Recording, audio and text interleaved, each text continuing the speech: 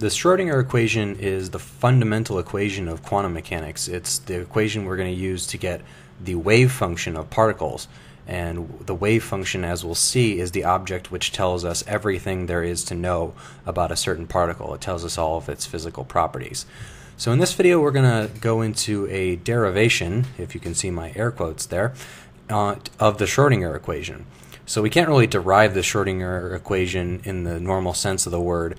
Um, usually it's taken as a postulate in quantum mechanics, meaning something that's just assumed to be true. But if we start from some other principles and assume that those and assume a few other principles are true, we can do a a sort of derivation in a sense of the Schrodinger equation here. So, last couple of videos, we talked about the classical wave equation, where we had some wave amplitude u, which is a function of space and time, and it obeyed the classical wave equation, this equation here, this second order partial differential equation.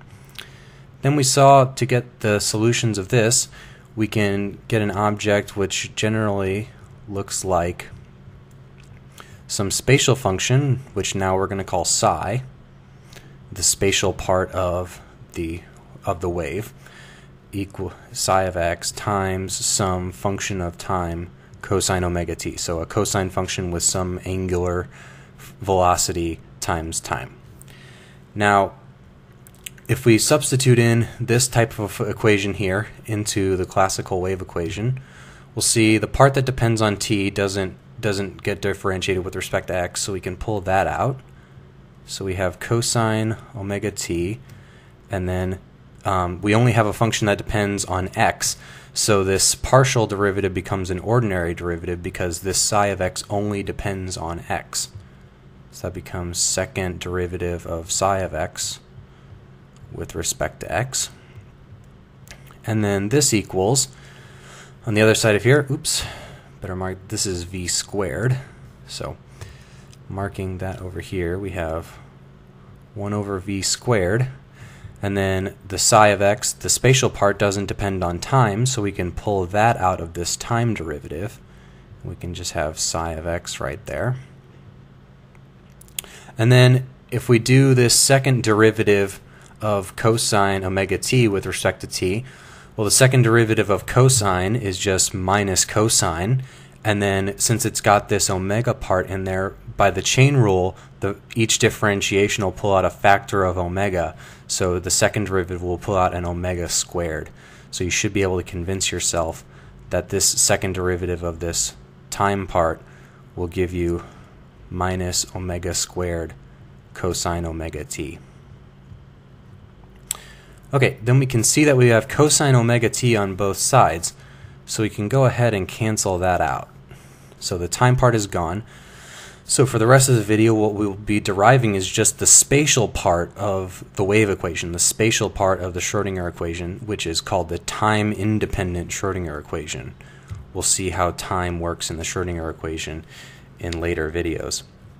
Okay, so right now we have second derivative of psi, this wave function, with respect to x. And then if we take this minus sign and then move and then move that over to the other side, add omega squared over v squared psi of x to both sides, then we'll get plus omega squared over v squared psi of x equals 0.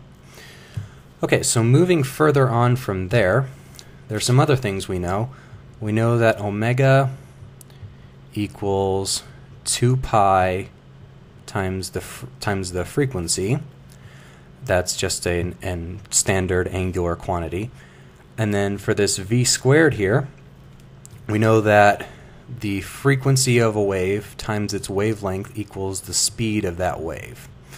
So if we take this omega squared v squared here, moving forward with that, the omega squared over v squared equals 4 pi squared times nu squared, the frequency squared, and then the bottom part v squared is going to be nu squared times lambda squared.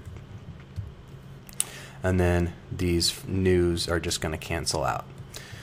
Okay, so now this omega squared over v squared becomes 4 pi squared over lambda squared. So moving forward with that, for this 4 pi squared over lambda squared, which is now this part of this function here, the part we're interested in. Well, what do we know about this wavelength? Well, if we want, if we look at the total energy, well, uh, uh, looking at the de Broglie wavelength that we talked about uh, several videos ago, we know that the de Broglie wavelength says that the wavelength of a particle equals Planck's constant divided by its momentum. So this 1 over lambda squared here that we're interested in, just inverting this and squaring it, we would have 1 over lambda squared equals momentum squared over Planck's constant squared. Okay, so then for momentum, we know that the total energy of a particle, if we call that E, equals its kinetic energy, which is p squared, momentum squared, over 2m, plus the potential energy acting on it at that point. So you should be able to convince yourself with sufficient algebraic manipulation that the momentum of a particle is equal to 2 times the mass, total energy minus potential energy, and all of that under a square root. So this equation here is just a rearranging of this energy expression right there. So then if we substitute in that expression for momentum up here, where we have momentum squared over h bar squared, that momentum squared then is going to become 2m 2 e minus potential energy v of x over h squared. Okay, so then what does this equal again? Remember this equals 1 over lambda squared. But then remember also that this part that we're looking at, we first showed that it was equal to 4 pi squared over lambda squared. So what we really want for this coefficient here to replace that inside the Schrodinger, inside what's going to be the Schrodinger equation here for this psi of x function, we want to multiply by that 4 pi squared on top as well. So let's do that. Let's make this 4 pi squared in the numerator. So then we're going to get a factor of 4 pi squared over here as well. Okay, but then we know something else. We also know that Planck's constant h equal, sorry, the reduced Planck's constant h bar equals Planck's constant over 2 pi. And that's convenient because we have h squared here and 4 pi squared, and 4 pi squared is just 2 pi quantity squared. So in fact, we can make this, by canceling out this 4 pi squared, we can just make this an h bar.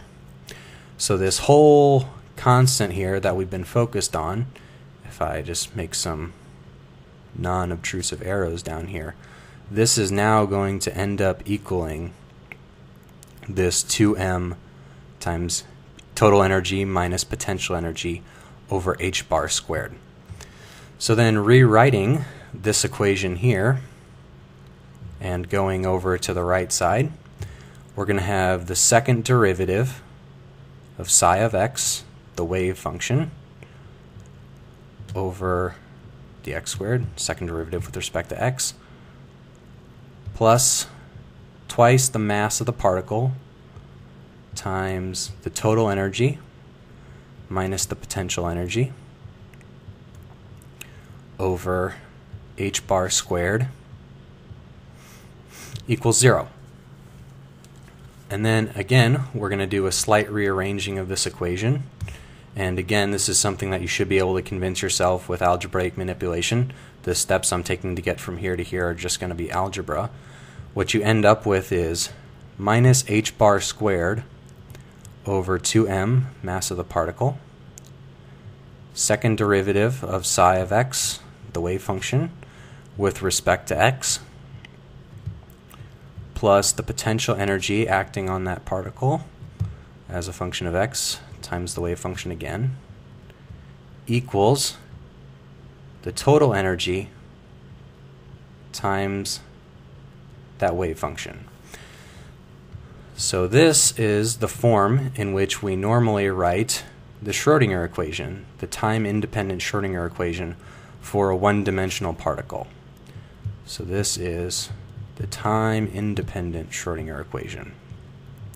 And what we'll see is, by solving this equation, equation for this psi of x, this wave function, we're going to get a function back which is going to give us everything we can possibly know about the properties of a particle. It'll tell us its energy, kinetic energy, average potential energy, average momentum, average position, etc.